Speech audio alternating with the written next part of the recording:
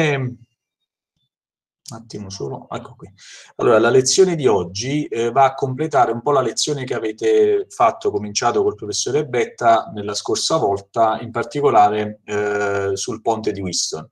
Eh, vi siete lasciati nell'ultima lezione col fatto che eh, il ponte di Winston eh, fondamentalmente è un uh, metodo di misura, uh, della, può essere utilizzato come metodo di misura uh, delle resistenze con precisioni tutto sommato dell'ordine di una parte su 10.000, e, però è possibile migliorar, migliorarne la precisione attraverso eh, fondamentalmente due tecniche che vedremo oggi e che sono la tecnica della doppia pesata e la tecnica della eh, sostituzione. Nel descrivere questi eh, due metodi eh, non abbiamo a disposizione slide, quindi io adesso condividerò lo schermo, lo schermo del mio tablet e ehm, eh, proverete a seguirmi, anzi datemi feedback per vedere se vedete lo schermo e lo vedete bene, eh, quello che io appunto scriverò eh, sul um, eh, mio blocco note diciamo virtuale.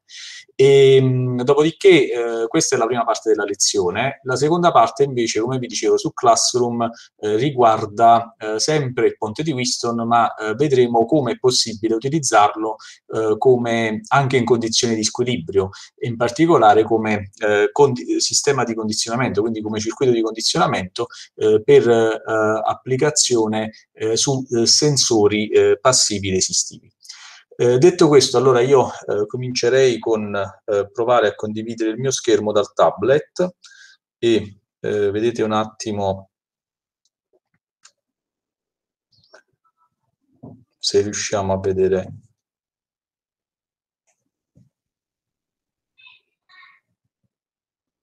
ok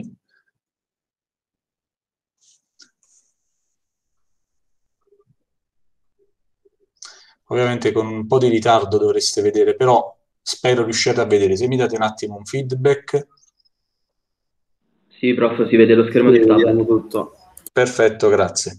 Allora, eh, a questo punto dicevo, eh, partiamo dal metodo della doppia pesata.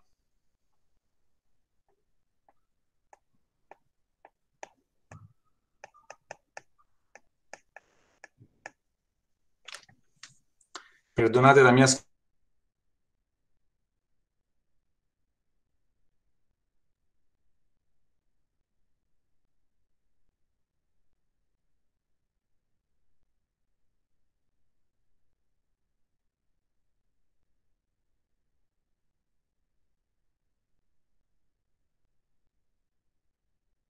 Spero sia un attimo disconnesso il, il PC, il collegamento di rete. Un attimo solo.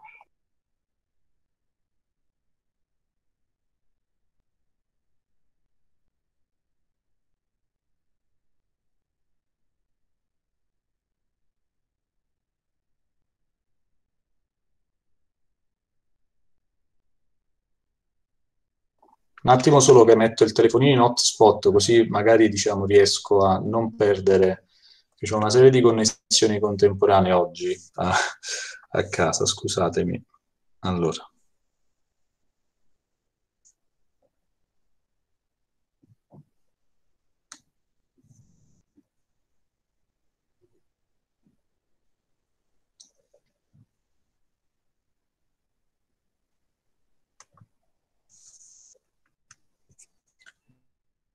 Innanzitutto mi, mi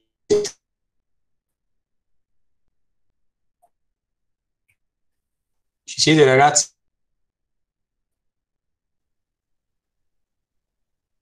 Date un feedback. Sì, prof. Ah, perfetto, ok. Prof, allora adesso... bene. Non mi sentite bene? Eh, si sente un po' a tratti, a volte. Ok, vedete adesso, perché adesso si dovrebbe, dovrebbe essersi ripristinata la connessione. Sì, ora si sente bene. Ok. Un attimo solo che riprendiamo da dove ci eravamo lasciati.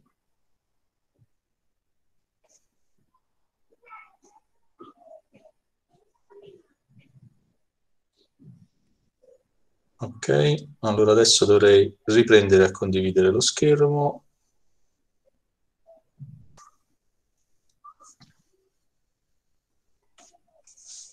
Eccoci qua.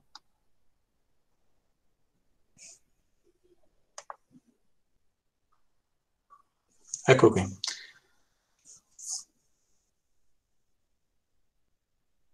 Eccoci. Allora, vediamo, ci riproviamo allora. Allora, a questo punto dicevo, riprendiamo un attimo eh, il discorso del ponte, no? A cui eravate arrivati l'ultima volta. Quindi mh, ridisegniamo un attimo il ponte, giusto per ricordarci come è fatto il ponte di Winston.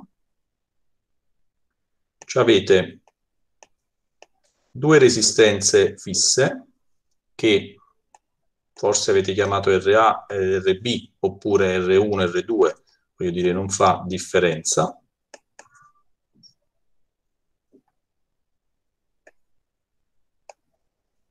e poi avete oltre al resistore incognito Rx eh, la resistenza campione Rc.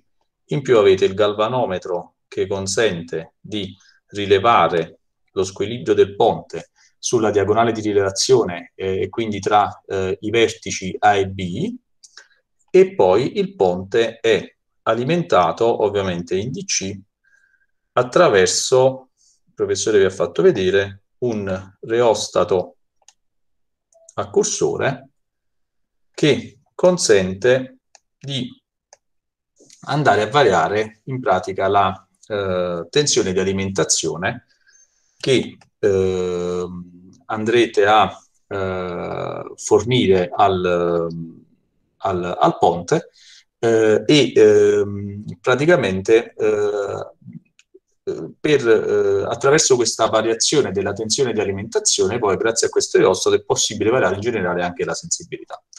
Ma eh, quello che eh, avete eh, poi eh, visto è attraverso ovviamente eh, i principi di Kirchhoff, alle maglie, nodi, eccetera, eccetera, all'equilibrio che cosa avete scoperto? Avete scoperto che fondamentalmente Rx è uguale a RA su RB per un certo valore di RC1, chiamiamolo RC1, valore di RC eh, trovato all'equilibrio, quindi quando il galvanometro appunto eh, mi segna praticamente zero. Eh, ora, ehm, eh, in questa relazione inoltre eh, vi abbiamo anche detto che generalmente RA è, lo si fa in modo da essere molto prossimo ad RB in modo tale da diciamo, avere che Rx sia quasi eh, pari ad Rc1.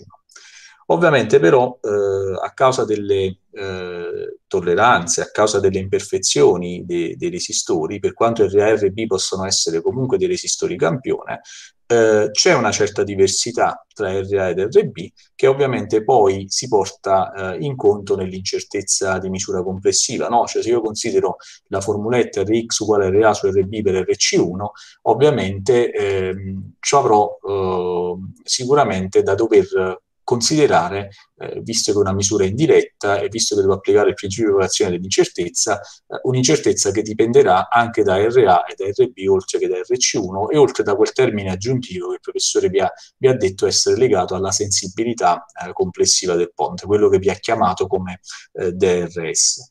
Eh, e allora, eh, in cosa consiste il metodo della doppia pesata? Consiste nel andare praticamente a scambiare RA con RB e quindi fondamentalmente andare a uh, creare un circuito identico a quello di prima, quindi un ponte identico a quello di prima, ma con scambiate proprio tra di loro RA ed RB.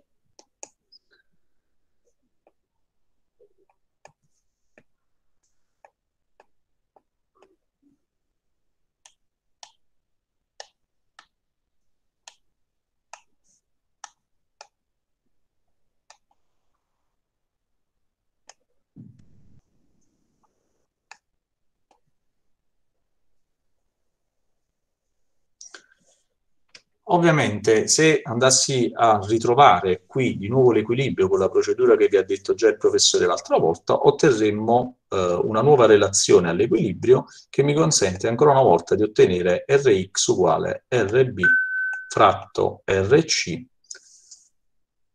per, scusatemi, fatto RA per RC2, dove RC2 sarà per esempio eh, il valore nuovo di RC con questo nuovo equilibrio dovuto al fatto che io ho scambiato RA ed RB. Quindi in generale ci avrò che RC1 è diverso da RC2. Allora, a questo punto, se io considero questa relazione, quindi questa qui che abbiamo appena ottenuto, e eh, quella precedente, quindi Rx uguale Ra su Rb per Rc1, posso pensare di moltiplicarle per ottenere il valore complessivo di Rx in questo modo.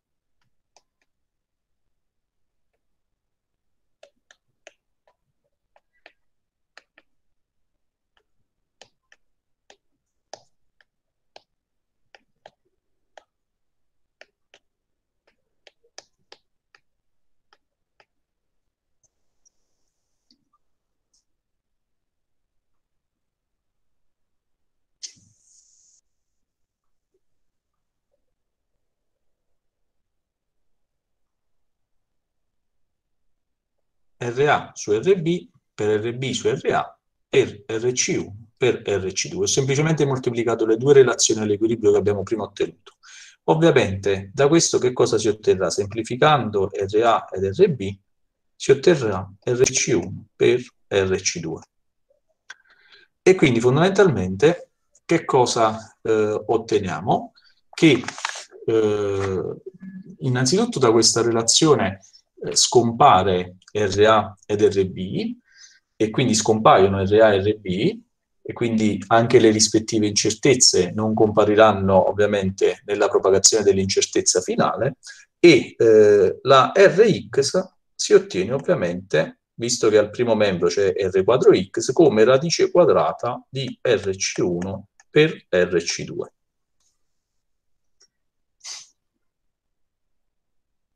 Ok?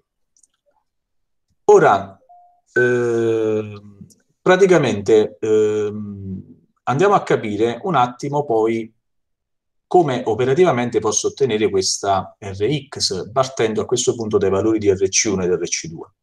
Allora, Rc1 e Rc2 vi ricordo che sono i due valori all'equilibrio eh, ottenuti eh, con, variando appunto il resistore a decadi eh, il resistore a decadi è lo stesso, eh, sia nel caso eh, in cui ricerco il primo equilibrio, sia nel caso in cui investo RRB e ricerco il secondo equilibrio per ottenere eh, diciamo, la nuova RC2. Eh, e il fatto che sia mh, di fatto lo stesso resistore a decadi eh, fa sì che RC1 ed RC2 fondamentalmente siano grandezze tra loro correlate. Ehm, e ehm, per cui mi conviene cominciare già ad esplicitare un pochino queste correlazioni per capire chi sono questo RC1 e chi sono RC2, perché mi servirà non solo per il calcolo di Rx, ma anche per eh, poi il calcolo dell'incertezza eh, da associare ad Rx. In particolare, se eh, vado appunto a scrivere RC1 ed RC2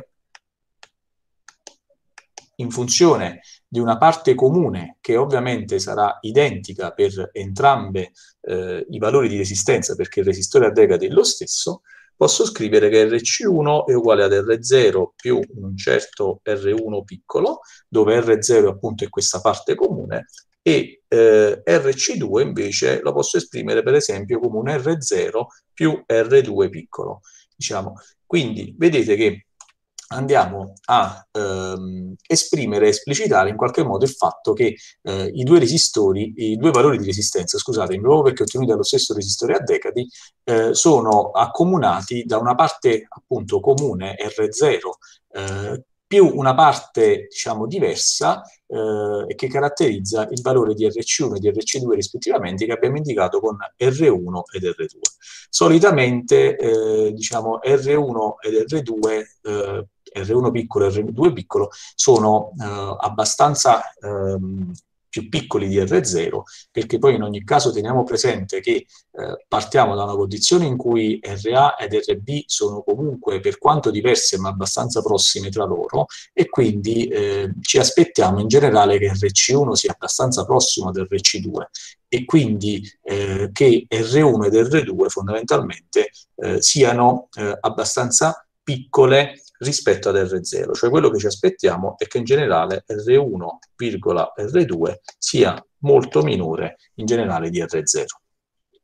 Giusto per fare un esempio numerico e quindi capire un pochino questa scomposizione che abbiamo fatto, che cosa significa, immaginiamo che eh, RC1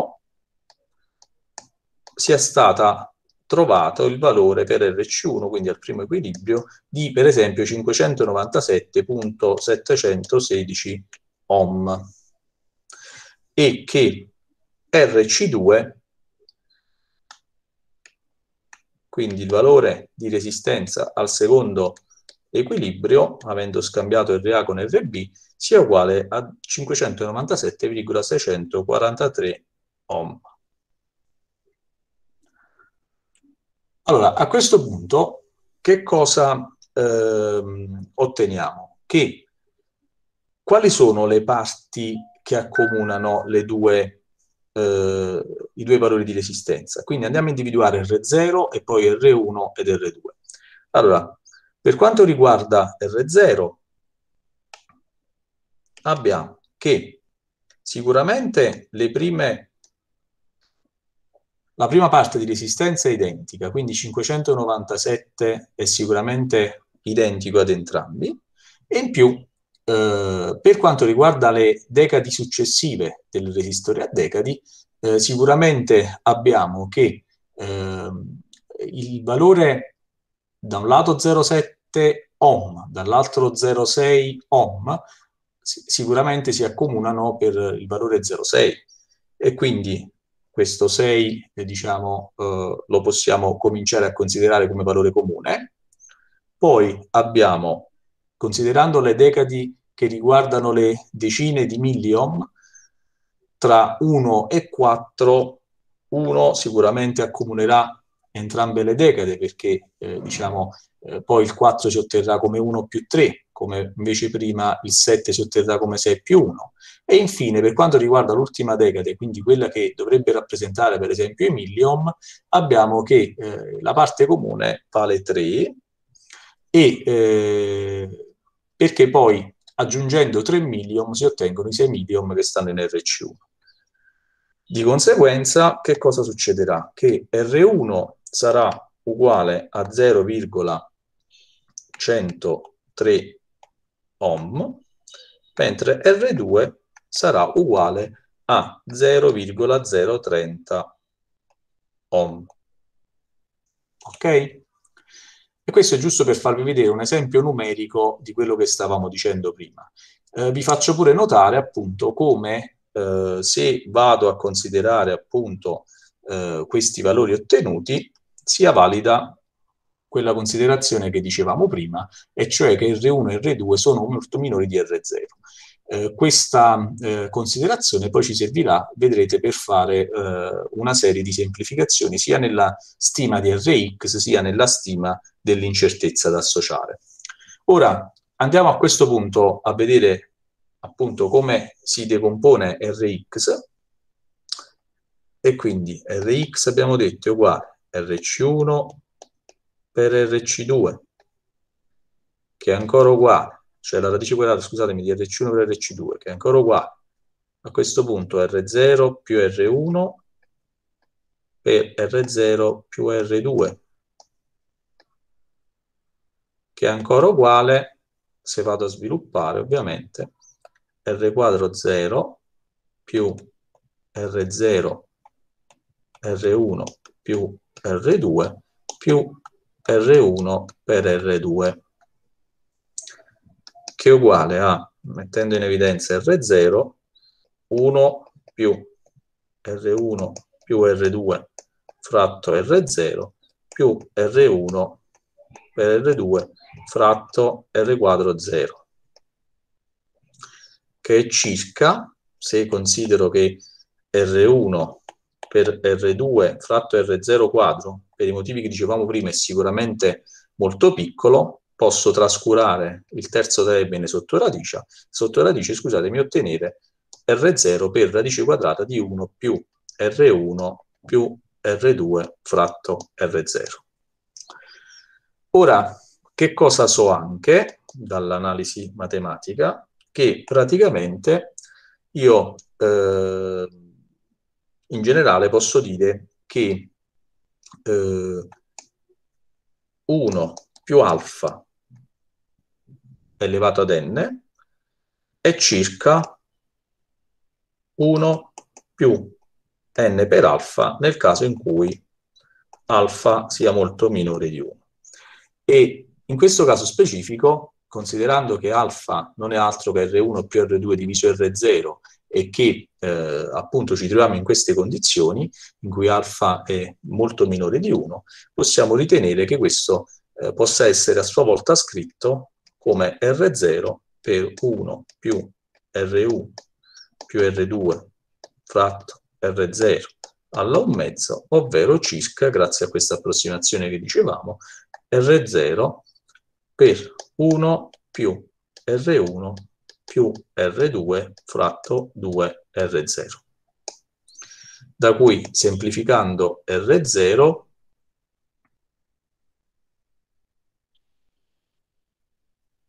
ah, portando dentro R0, eh, otteniamo praticamente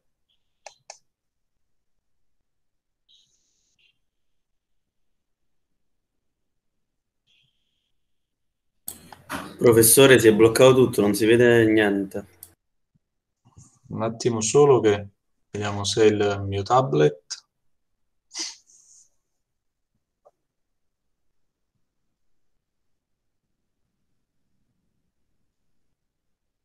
Vediamo se si riprende.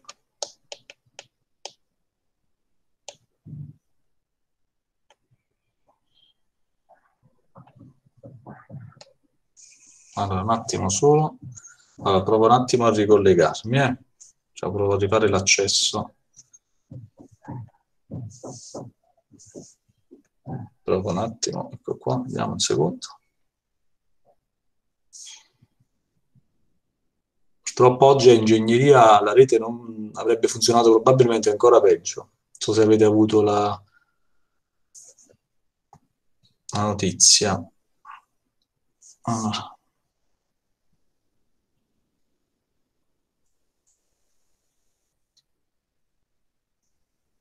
Eccolo qua. Adesso dovrebbe, dovreste rivedere i passaggi che ho fatto. Riuscite a vedere sullo schermo adesso? Sì, sì prof, si vedono. Ok, ok.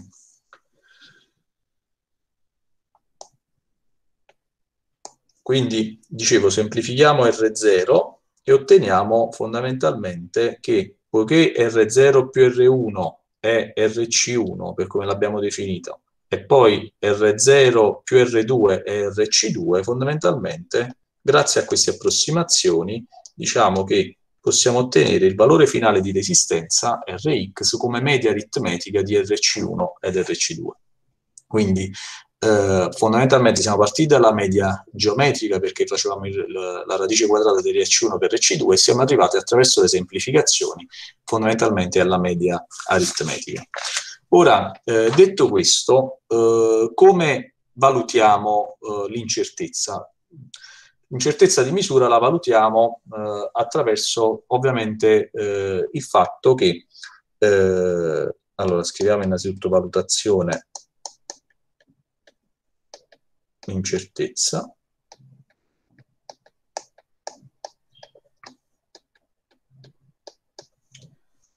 Allora, eh, praticamente la mh, mm, eh, valutazione dell'incertezza eh, come la eh, otteniamo? Dobbiamo ricordarci che eh, per quanto riguarda il valore di Rx, eh, abbiamo, l'abbiamo raggiunta in due equilibri, in due valori, in, in due momenti, con due equilibri diversi. Innanzitutto eh, una prima formuletta che abbiamo ottenuto prima, che era RA su RB per RC1, a cui dobbiamo aggiungere il eh, coefficiente, eh, quel, scusatemi, quel termine DRS1 che indica la sensibilità che eh, è stata appunto ottenuta eh, nel primo equilibrio, nel raggiungimento del primo equilibrio. E poi avete Rx uguale eh, RB fratto RA per RC2 più DRS2 sostanzialmente. Ok?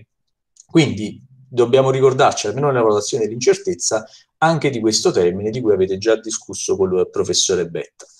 Eh, a questo punto, eh, moltiplicando queste due formule membro a membro, otteniamo che Rx, ancora una volta, può essere scritto come radice quadrata di Rc1 per Rc2 più DRS1 che moltiplica RB su RA per RC2 più DRS2 che moltiplica RA su RB per RC1 più DRS1 per DRS2.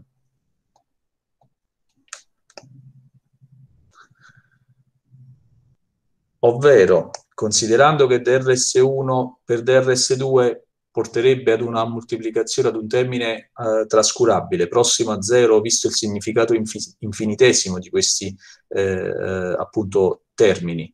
Eh, considerando che RC1 è R0 più R1 ed RC2 è R0 più R2, facciamo questa sostituzione, otteniamo R0 quadro più R0 che moltiplica R1 più R2 più R1 per R2 più DRS1 per RB su RA per R0 più R2 più DRS2 per RA su RB per R0 più R1.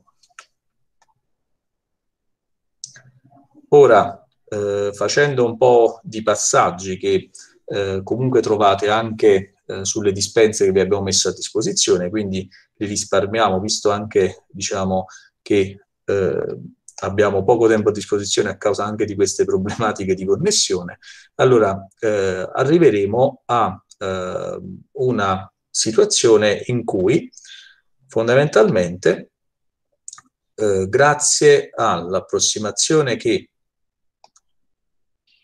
R quadro su, scusatemi, R2 su R0 quadro è molto minore di 1 su R0. R1 fratto R quadro 0 molto minore di 1 su R0 e R1 per R2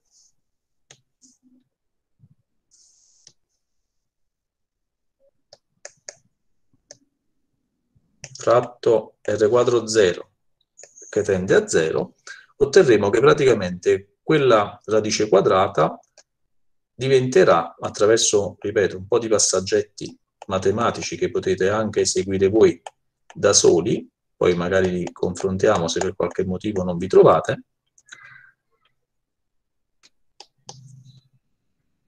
che la mia Rx è data da R0 per radice quadrata di 1 più R1 più R2 su R0 più 1 su R0 che, ha, che moltiplica DRS1 per RB su RA più DRS2 per RA su RB. Tutto sotto radice quadrata. A questo punto, ragionando come abbiamo fatto prima, e quindi considerando che fondamentalmente può valere l'approssimazione 1 più alfa elevata alla n è circa 1 più n alfa nel caso in cui alfa è molto minore di 1, poiché il termine sotto radice R1 più R2 diviso R0 più 1 su R0 che moltiplica DRS1 RB su RA più DRS2 RA su RB è molto minore di 1, allora siamo in queste condizioni e quindi il tutto porterà in pratica a dire che la mia Rx è circa R0 che moltiplica 1 più R1 più R2 fratto 2R0 più 1 fratto 2R0 che moltiplica DRS1 per RB diviso RA più DRS2 per RA fratto RB.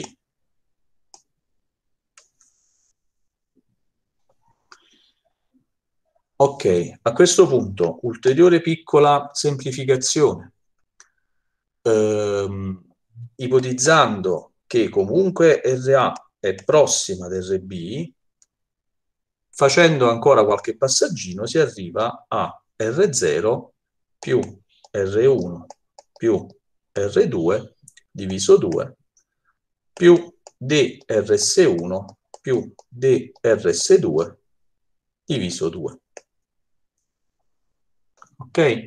Quindi sono, questa è la diciamo, formuletta finale per quanto riguarda l'approssimazione che a questo punto avremo di Rx e eh, a questo punto eh, ancora una volta noto che grazie al metodo della doppia pesata eh, non compare, non comparirà eh, diciamo RA ed RB esplicitamente, quindi fondamentalmente eh, ci siamo svincolati dalle incertezze su questi due resistori campione eh, e rimarranno solo questi termini, in particolare applicando la propagazione dell'incertezza e ricordandoci che questo fondamentalmente è un caso notevole, no? perché abbiamo la somma di termini diciamo, eh, eh, per i quali eh, appunto eh, ciascuno di questi porterà un suo contributo di incertezza, in pratica eh, possiamo magari evitare di fare derivate, ma se le facciamo non facciamo un errore in generale, e dire comunque che u quadro di Rx è uguale a u quadro di R0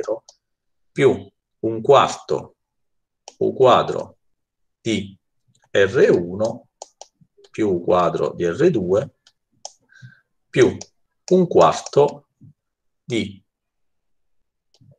u quadro di rs1 più u quadro di rs2 dove ovviamente eh, che cosa ci avete qua?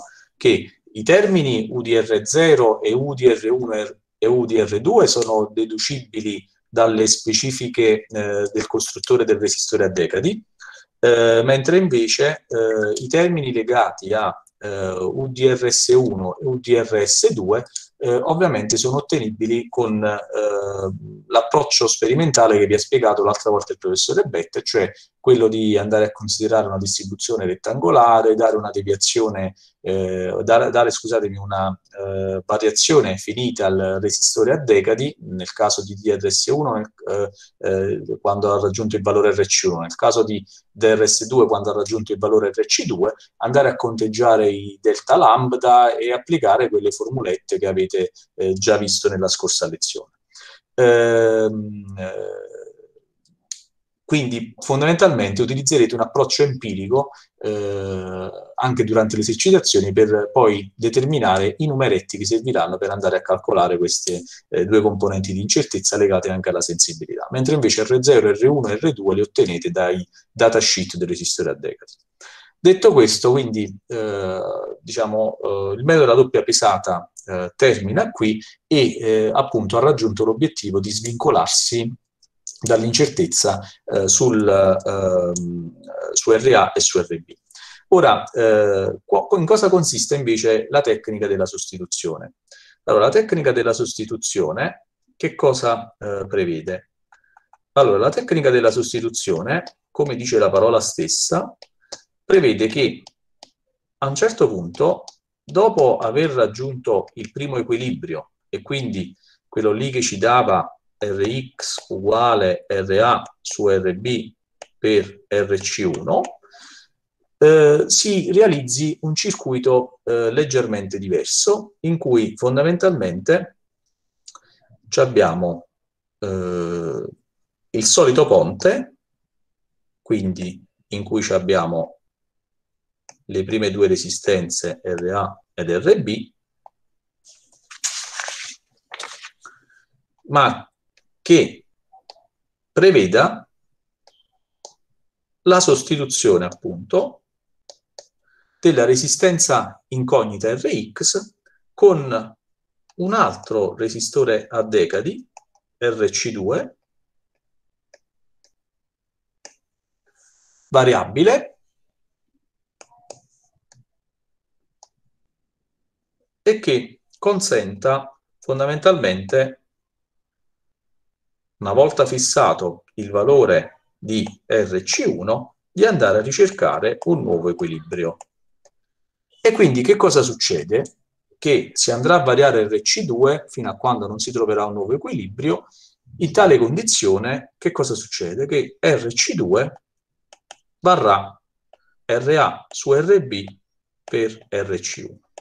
Cioè, ovviamente, avendo sostituito RC2 con RX, Rx, scusatemi, con RC2, la relazione sarà esattamente la stessa, ovviamente sarà ricercato un nuovo equilibrio, però otterremo, senza aver variato RC1, siamo andati a variare RC2 questa volta. A questo punto che cosa succede? Che ehm, eh, ovviamente che cosa avremo? Avremo che Rx di fatto è, coincide con RC2 a questo punto e eh, quindi ancora una volta eh, Rx non dipenderà più da eh, RA ed RB e quindi otteniamo l'obiettivo di partenza. Per quanto riguarda a questo punto l'incertezza eh, di, di, misura, eh, come si valuta l'incertezza di misura in questi casi? Allora,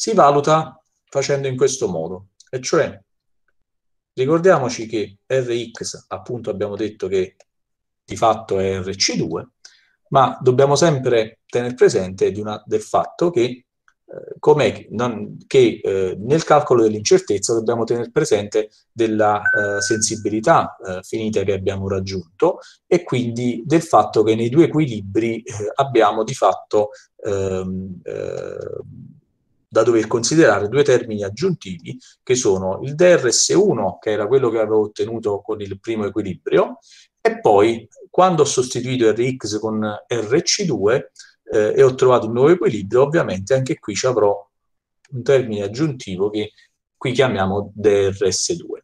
A questo punto, eh, poiché tutto sommato ehm, eh, possiamo ritenere senz'altro che DRS1 sia molto prossimo a DRS2 perché eh, diciamo se non proprio identico visto che eh, comunque eh, RC2 eh, andrà a equilibrare eh, RX in un modo eh, praticamente identico andrà a equilibrare, scusatemi, il ponte in, un modo, in modo identico a quanto avrebbe fatto RX, possiamo senz'altro ritenere che DRS1 è circa se non uguale a DRS2 quindi questa relazione diventa Rx uguale a Rc2 più due volte un certo DRS che eh, diciamo a questo punto ci togliamo il pedice.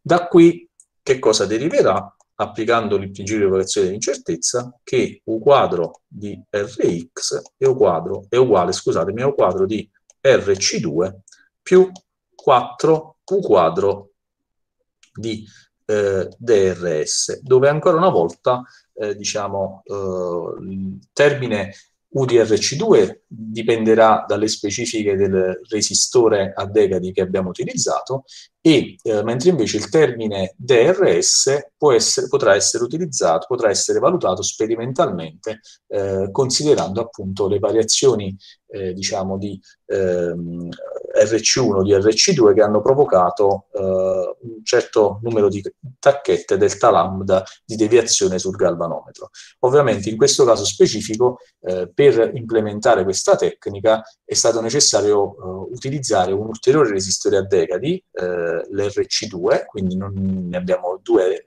ne dovremmo avere due a disposizione. Eh, ovviamente nella seconda misura RC1 è fisso, mentre RC2 andrà a variare per raggiungere l'equilibrio.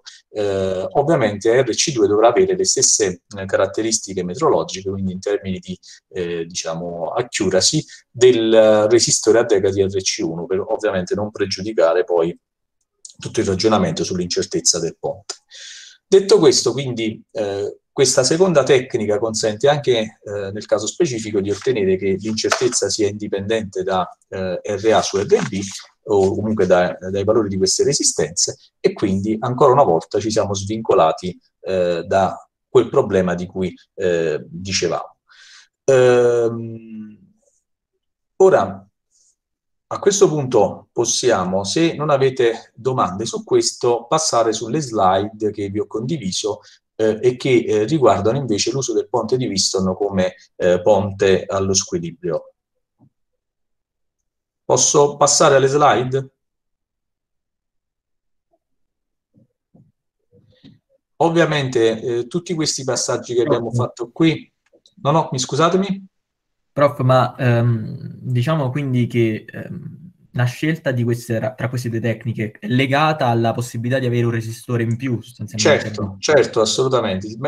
La tecnica della doppia pesata è più banale da implementare perché basta scambiare RA ed RB eh, nello stesso circuito, quindi con lo stesso resistore a decadi non ho necessità di avere doppio resistore a decadi e così via, che comunque ha un costo come oggetto. Eh, invece questa tecnica della sostituzione eh, ovviamente richiede eh, un altro resistore a decadi di pari precisione e accuracy del eh, resistore precedente e quindi ha un costo eh, un po' maggiore in generale, eh, però eh, consente di ottenere fondamentalmente delle incertezze ancora eh, più basse in generale.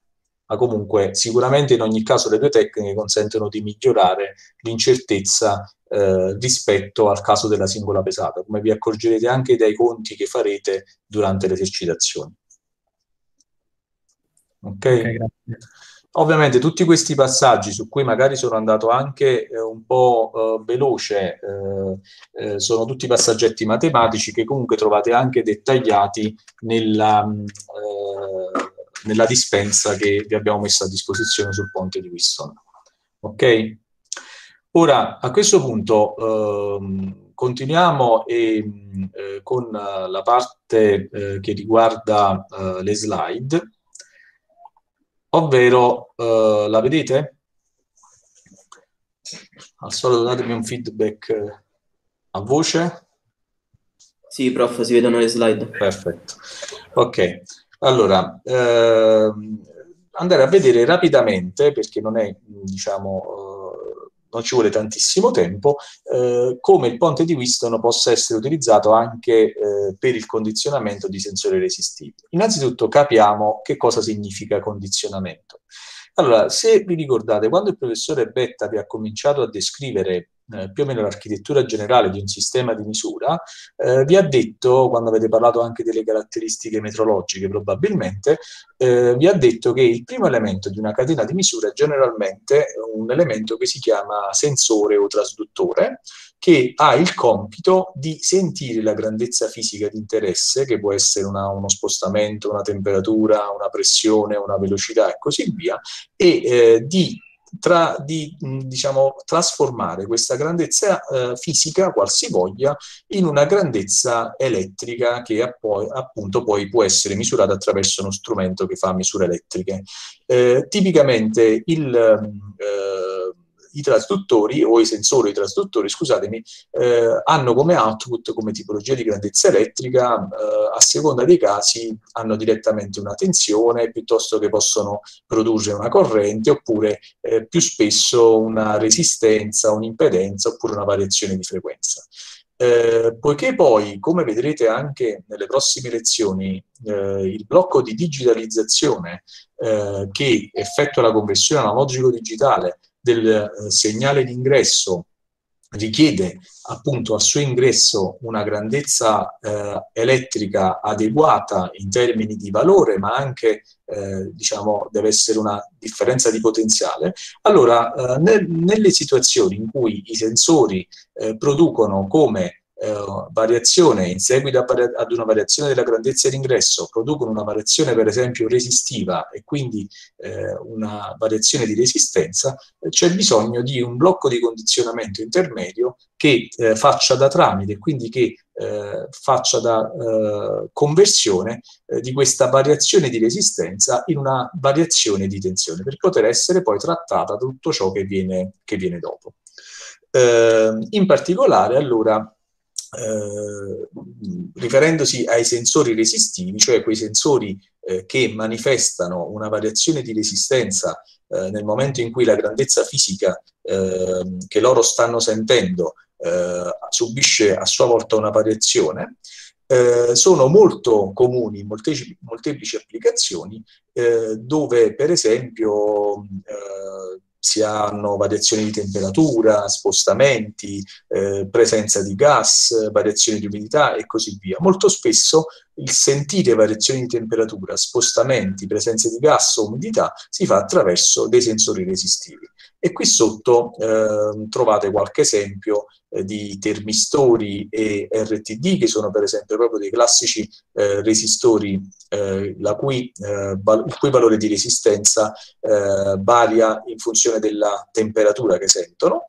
Eh, e poi, per esempio, qui in basso a destra invece trovate gli estensimetri o in inglese string gauge che eh, sono dei sensori ancora una volta resistivi eh, che eh, praticamente si montano tipo dei francobolli, eh, sono molto eh, piccoli, si appiccicano al materiale di cui si vuole valutare per esempio la torsione piuttosto che l'estensione e se questo materiale a causa di qualche effetto come può essere un terremoto piuttosto che semplicemente uno spostamento della eh, eh, della, mm, eh, diciamo del materiale, quindi del cemento, eh, che sostanzialmente è solidale con questo francobollo appiccicato sopra, eh, se si verifica questo spostamento longitudinale, per esempio rispetto alla, alla, direzione di installazione di questo sensore, si ha una produzione di una eh, variazione di resistenza.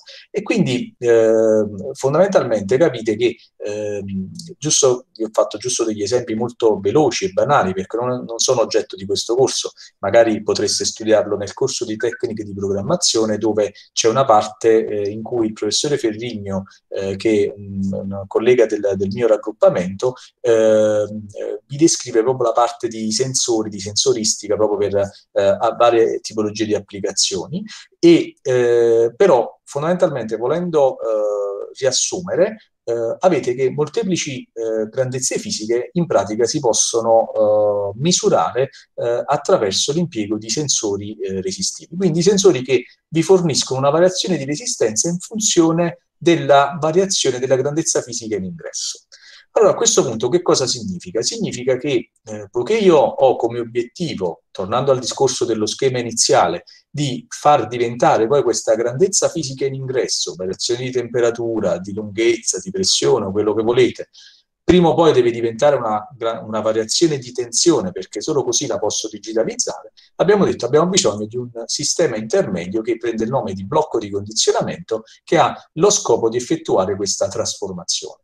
Ebbene, il ponte di Whiston si presta anche a questo, nel senso che eh, se eh, invece di andare a costituirlo con due resistori fissi e uno a decadi variabile per cercare di misurare il valore di Rx attraverso il raggiungimento di un equilibrio sulla diagonale di, rivelazione, eh, noi possiamo pensare di, avendo Rx resistenza incognita legata a quella grandezza fisica di cui dicevamo prima, eh, e avendo R1, R2 e R3 fisse, posso pensare di andare a misurarmi il valore di V con M che si produce ai capi della eh, diagonale di rivelazione AB e eh, scoprire che fondamentalmente non è altro che eh, funzione del valore della resistenza Rx, questa volta incognita, e che è legata appunto al sensore che subisce una variazione in funzione della eh, variazione della grandezza fisica in ingresso.